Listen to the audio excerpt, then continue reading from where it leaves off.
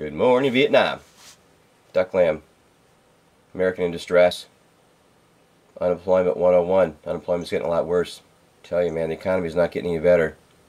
And uh, I believe the I believe the participation in the employment or the job sector here is at all times low. It's it's like pre 1980s. They won't go any lower than 1980, and they're trying to make it look like the unemployment numbers are dropping when actually people are just dropping and the numbers are, are just a consequence of the people dropping off. But today I'm going to talk about possession, demon possession in high, powerful institutions and places. And these demons, these possessed people, they control your life. And I'm going to go into a little history and prove it the best I can right now in just a few minutes here. But I'm going to start off with a little XTC. I love these guys back from the 80s band while I show photographs of people that I believe are possessed. We're going to listen to a little Generals and Majors great song by it. Or I hope I don't get in trouble for this anyway. But I'll only play a couple of minutes here of it, or a couple seconds of it, and hope I don't get in trouble. Of course, this is off YouTube. Bear with me. Everything I'm here is doing off the cuff. These are possessed people.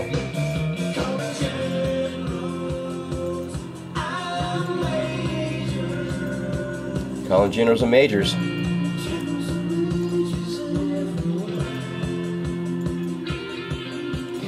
People are evil. They're practicing human sacrifice on a level not ever achieved. World War III in human history. There's something wrong here, you guys. Something way wrong. There's something wrong with these people and you say, well, they look normal, they talk normal, they're nice, everything's cool with these people and everything. It's, it, it's all a facade, it's a front, it's a fake front.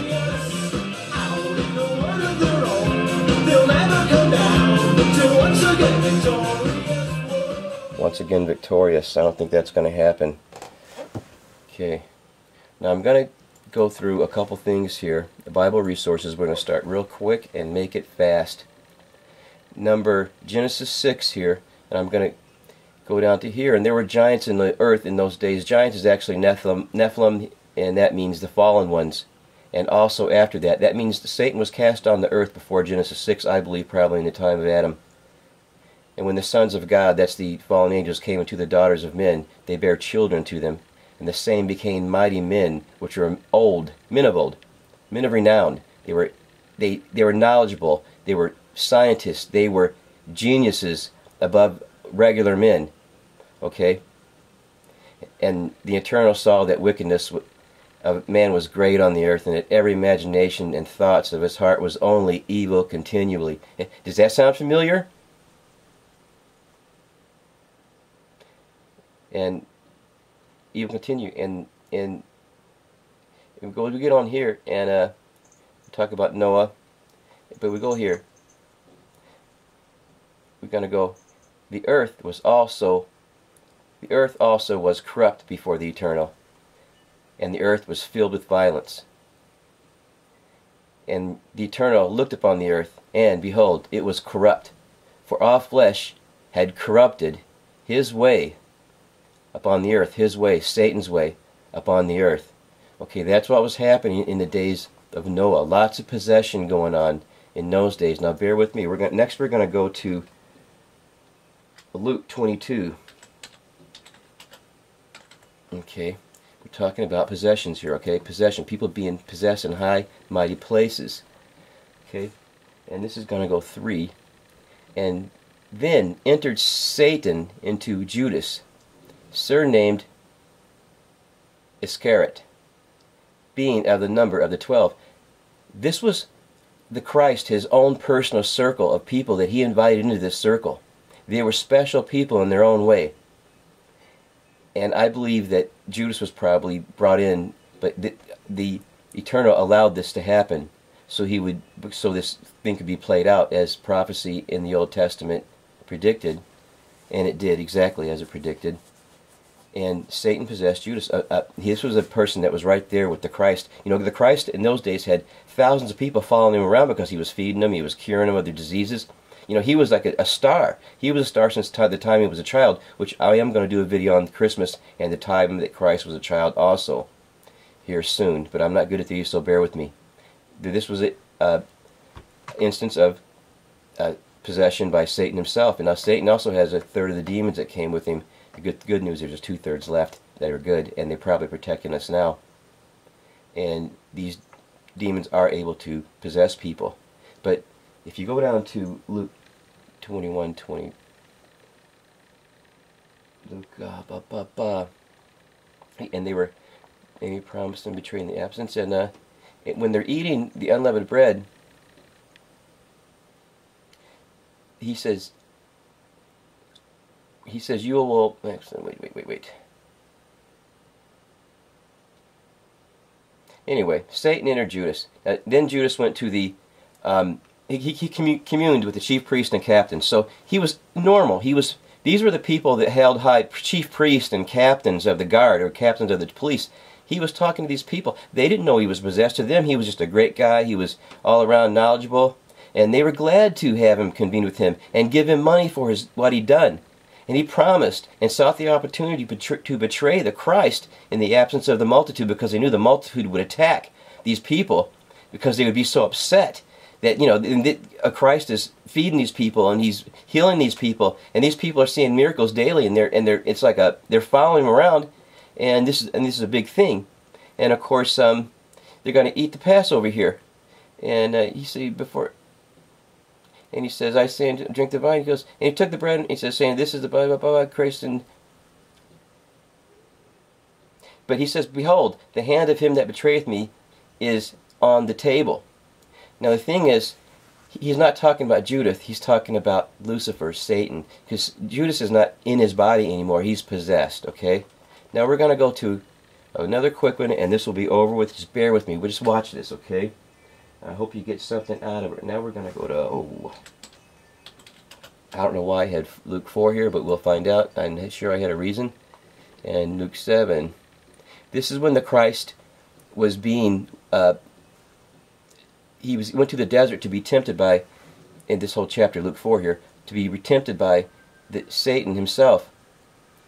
And um, in Luke 7, if thou for wilt worship me, all shall be thine. You know what he's talking about? If you'll just give yourself to Satan and he can possess the Christ, if he could possess the Christ, man, all would have been over with.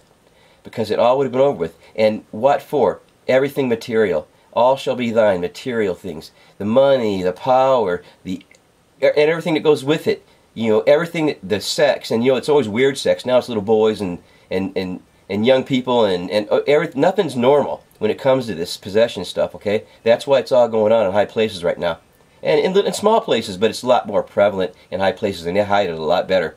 If thou will worship me, all will be mine. And and Satan saying to the Christ, you know, of course, the Christ wins this battle, and we are where we are now because of it. Now, one more thing, I'm going to go here.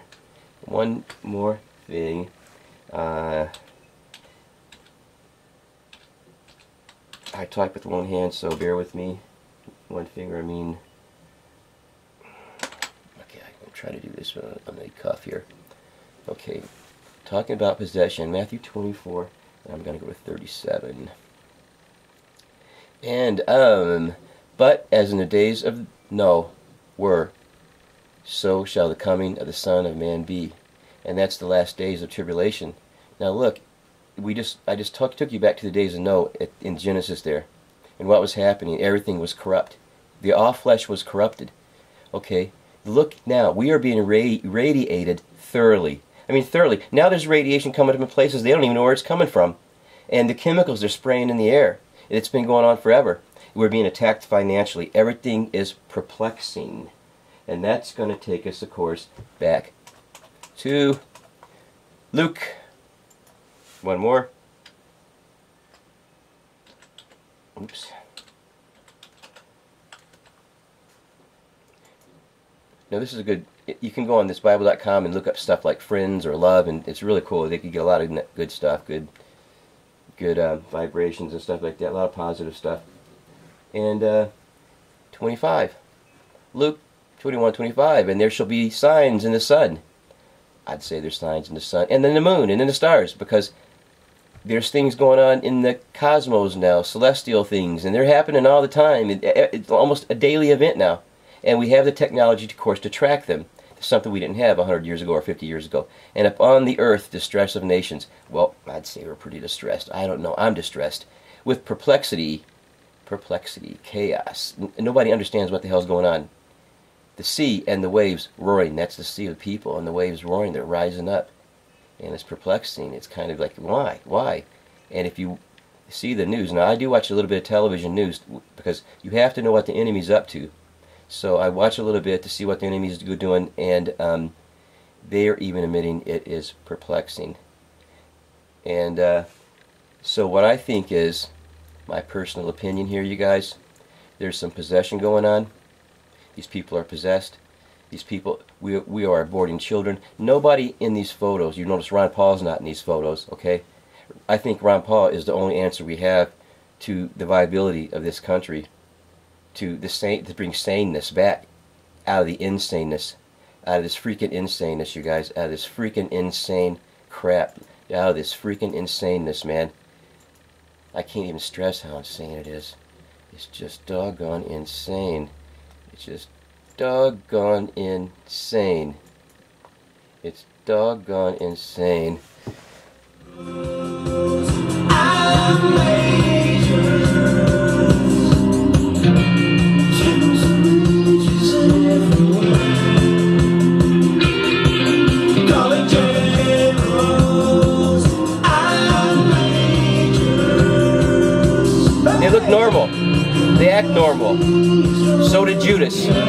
Convened with priests, captains, high authority of his day. And they gave him money. Money.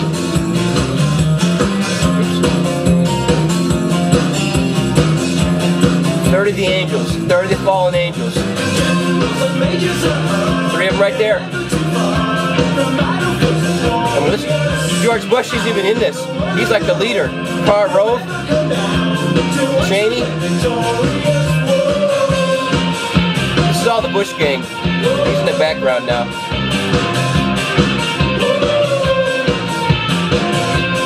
God bless you guys. Fight the good fight. Ron Paul. Nobody can really fight the evil though. We're just screwed, man. Duck out.